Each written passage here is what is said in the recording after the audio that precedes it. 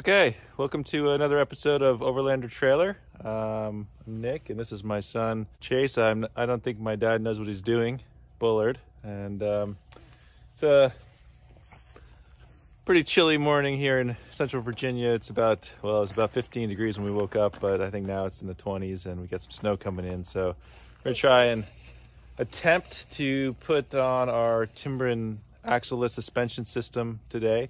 Um, the it's uh, we'll see how it goes. Um, so far, it seems pretty straightforward. There's some great videos out there, um, particularly where I where I picked this up uh, from eTrailer.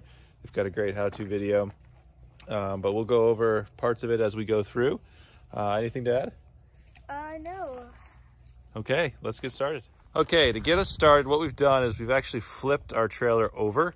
Uh, this is going to allow us to put our suspension system uh, on top so that it's easier to work with when we're mounting it. Um, the, the system itself actually came um, needing some assembly. Uh, as you can see here, the spindle actually needs to be bolted uh, to to the uh, to the other part uh, using these bolts that it, does come with. Um, you, it does require a torque wrench, uh, so you're going to need one of those if, if you don't have one. Uh, and it's it's not the easiest thing to put together. I have assembled this one uh, and placed it on here, um, sort of just as a placeholder for now. Um, the way that Timbren recommends that you install these is that you need to make sure that they are equal distance from the coupler. Uh, so what you want to do is uh, measure from the center of the coupler back to the uh, spindle itself, and it needs to be within an eighth of an inch. Uh, so that's that's pretty close. You also need to make sure that your trailer is perfectly square. And when you're putting on an axle, uh, for anyone that doesn't know, it needs to you need to observe the 60-40 rule. So 60% of your trailer's space is actually going to be in front of the axle, and 40% is behind it. And the easy way to figure that out is actually to take a measurement of the entire trailer uh, of the minus the uh, the tongue and uh, multiply it by 0.4. Uh, so we've done that and we have about uh, 38.5 inches. So um, next step is going to be getting these in place and drilling drilling the holes to, to mount them in.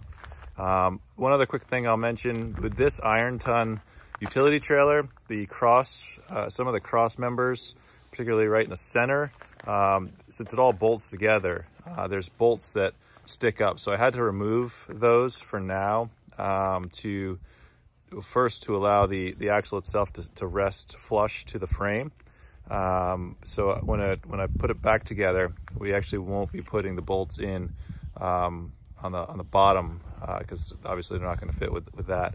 Uh, we will be inserting a two by three uh, inch steel tube per Timbren's recommendation through this section, which helps strengthen uh, the trailer itself and provides additional support for the axle. So um, that's that. We'll, we'll, get started here. Um, if you have any questions, comment uh, and uh, subscribe for more videos as we progress along in our, our build out. Anything else to add, Chase? Uh, no, except do subscribe. That is helpful. All right. Like, because it's good. Okay. And uh, that's our dog, Westy. Hey, Westy, you have anything to add? No? Okay. Over and out. Okay, so a quick update here. We've got our axles um, measured out in place, uh, drilled the holes, um, inserted the bolts. Now I just need to tighten them down, uh, both sides. And then uh, also have this piece of steel um, that I'm going to be running through um, through this integrated uh, system that allows for uh, strengthening everything up, as I mentioned before. Then we're going to go ahead and put these cross members back in place, um, bolt those back down, and uh, then we'll be ready to flip this over and get to adding the hubs and the brakes. Uh, so moving right along, um, wasn't too bad really. Uh, once once we were able to get the measurements, you know, everything for the measuring straight, but uh, I think we're in good shape. So um, stay tuned.